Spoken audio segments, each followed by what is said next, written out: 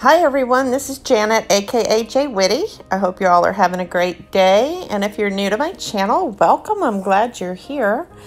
I'm working on a 12 by 24 stretched canvas. And this particular canvas had a few little wonky spots in it, so I did spray the back down with some water and allow for it to dry in hopes that, you know, I was able to smooth those spots out a bit. Um, Still had some trouble with some of the corners, so I figured I'd go ahead and use this particular canvas for a swipe. And the base coat that I'm laying down actually um, was intended for another type of pour. And unfortunately, it just didn't yield the results that I had been hoping for. It was going to be for the um, cloud pearl effect and so it's Artist Loft Flow White DecoArt Satin Enamel.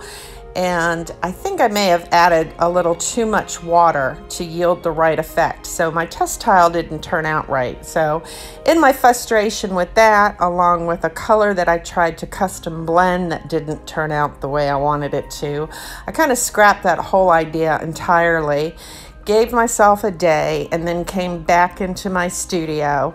And now I'm sitting here looking at this mixture of a base coat that I mixed up, and I didn't really want it to go to waste. So I decided I'll go ahead and do a swipe uh, using the base coat and add some FolkArt metallic silver sterling to it to uh, come up with this really pretty light gray color for uh, the base coat. And the colors that I'm going to be laying down today are the DecoArt uh, Americana Metallics Pewter. It's a gorgeous color, absolutely love it. Uh, the DecoArt Dazzling Metallics Berry. And then the DecoArt Extreme Sheen Rose Quartz.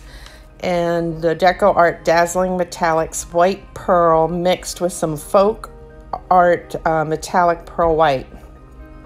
And it's just a really pretty color combination. So um, all of those are listed in the description box down below, along with my uh, pouring mediums. Uh, you'll see what I used initially for the, the base. Um, the only thing I did different was just add um, the uh, FolkArt metallic sterling silver. I'm sorry, I'm trying to check my notes as I'm talking. So all of that's in the description box, so please feel free to have a, a peek at that if you'd like.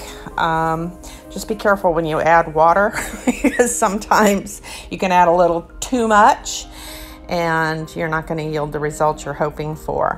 But anyways, I figured this would be great uh, little experiment to see what happens when you have actually uh, some of the satin enamel in your base coat and uh, do a swipe because I don't think I've ever done a swipe previously that had any kind of satin enamel in it. So um, I'm using paper towels that I have uh, dampened to uh, swipe with and then I do some tilting and then I do some palette knife work on this piece. So it doesn't look like much from your viewpoint, um, but at the end I take you in for a close-up and the details are really, really amazing. There's some really pretty intricate um, detail in this piece. Um, so I was really pleased with my end result.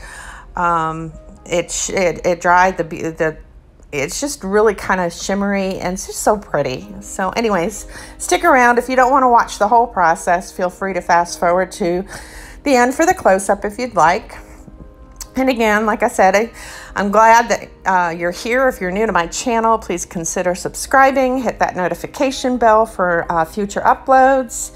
And until next time, guys, stay safe, take care, and blessings to you all. Bye-bye.